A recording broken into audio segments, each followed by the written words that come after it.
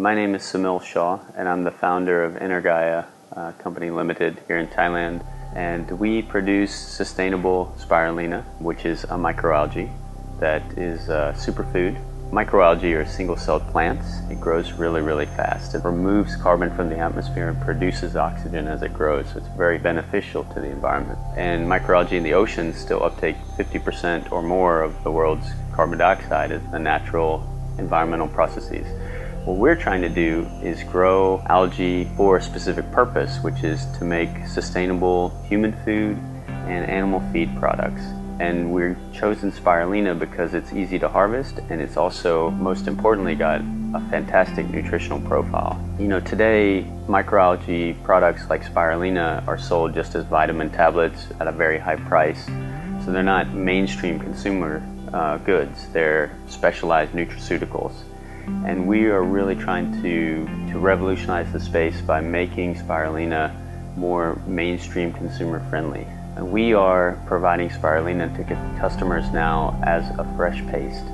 So it's uh, closer to the way kind of nature intended you to eat it, but it's, it's perishable, so you, you need to refrigerate it. One of the great things about it, which is different from some of the um, other products around the world, is ours doesn't impact the taste of the food product at all. So we want to make it available in grocery stores, and, and we want to expand to have it available as a product not only in Thailand, but in other countries all around the world.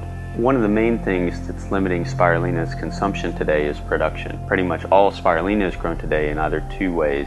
Either in natural lakes, where it tends to grow anyway, but there you have a risk of contamination with other algae species or other things, like bacteriums, whatever, higher probability.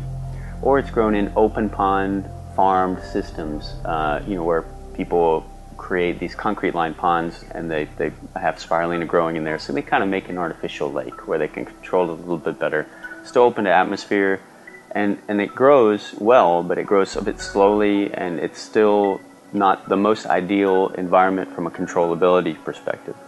What we've come up with is kind of a more revolutionary design that uh, we've leveraged from uh, other parts of the industry, grow, trying to grow other strains of algae, but we have focused on fixing some of the design issues with cost and ease of setup, ease of operation, operability, and we've kind of perfected this design and now uh, it's a closed system bioreactor and we can use it not only uh, out in areas where there's land at agricultural facilities like rice mills or tapioca mills or power plants but we can kind of fit our system wherever we need to on whatever land is available at these you know existing agricultural or industrial facilities. And we can tap in and take some of the exhaust CO2 that they have and use it as an inorganic carbon source for our algae so we, we get a kind of double benefit for the environment there recycling this waste CO2 the other benefit of our design is we can leverage it to urban farming so we can use it within a city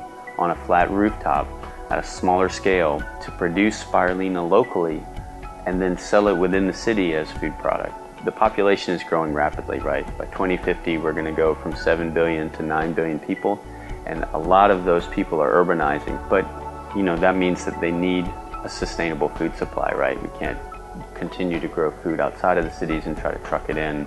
It's just a very difficult model to sustain with populations as they get that large. I don't expect people to stop using electricity or flying, right? That's not practical. So what we want to do is try to find solutions where we can offset these things that we, we need, you know, uh, like power and, and, and ease of travel, you know, offset their carbon footprint with, with other things like sustainable food production that is CO2 absorbing, you know, some more plant-based food products. So we feel like growing spirulina, because it grows so fast, doubles you know, uh, in mass content every two to four days.